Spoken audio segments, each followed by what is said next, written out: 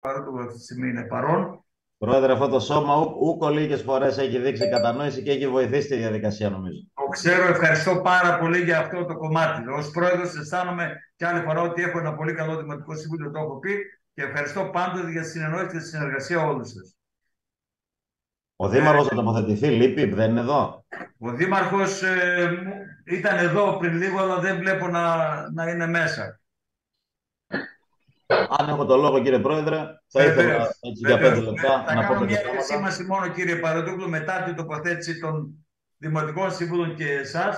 Θα προτάξω το ΔΕΙΑ το, το θέμα που αφορά τον ισολογισμό της ΔΚΑ, επειδή έχουμε εδώ τους ε, ορκωτούς λογιστές και του λογιστέ, με τη σύμφωνη γνώμη του σώματος, έτσι ώστε να τους αποδεσμεύσουμε. Συμφωνούμε; Συμφωνούμε, ναι. Έχετε το λόγο, κύριε Παραδούκλου.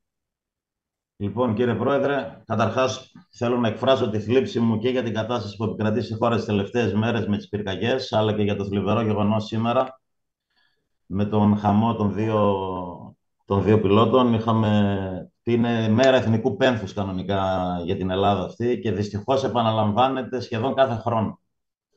Δεν ξέρω πού θα οδηγήσει αυτή η κατάσταση, ποιος είναι ο σκοπός, ποιος είναι ο στόχος, αλλά ζούμε μέρες πάρα πολύ ζωφερές και θα περίμενα από τον Δήμαρχο, τον κύριο Δήμαρχο, τουλάχιστον μία ανακοίνωση. Παρ' όλα αυτά, είδα μία ανακοίνωση η οποία ξένησε, θέλοντας έτσι, είχε τη διάθεση να υπερασπιστεί ένα έργο το οποίο κατά γενική ομολογία είναι ανύπαρκτο και γίνομαι πιο συγκεκριμένος. Φτάσαμε, φτάσαμε δυστυχώς, κύριε Πρόεδρε, 18-25 Ιουλίου και μετά την αστοχία του προπολογισμού, που φτάσαμε Απρίλιο για να τον πάρουμε στα χέρια μας μέσα στην τελευταία χρονιά, αυτής της διοίκησης.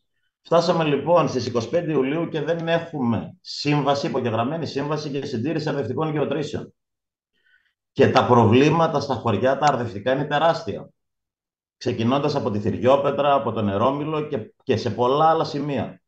Και αντί να φροντίσετε να την έχετε έτοιμη, ενώ είχε ξεκινήσει η διαδικασία, αν θυμάμαι καλά, από τον Απρίλιο, προσπαθείτε να μας πείσετε ότι στηρίζετε τους αγρότες. Δηλαδή, θέλετε να μας πείτε και τον τρόπο που γίνεται αυτό; Όταν στο πιο βασικό πυλώνα, στο νερό, υστερείτε, πόσο στηρίζετε τους αγρότες; Εκτός λοιπόν από αυτή την ιστορία, υπάρχει και μεγάλη ανυπαρξία σε έργα αγροτικής υπόστασης, αγροτικής οδοποιίας, διάνοιξη δρόμων και πούτο καθεξής. Από εκεί και πέρα, δυστυχώς βλέπουμε μία πόλη η οποία είναι παραμελημένη. Με λίγα λόγια, αντιμετωπίζουμε μία εικόνα Δήμου χειρότερη από ό,τι ήταν το 2019. Προσπαθείτε να πείσετε με αφηγήματα ότι έχετε λύσει πολλά προβλήματα.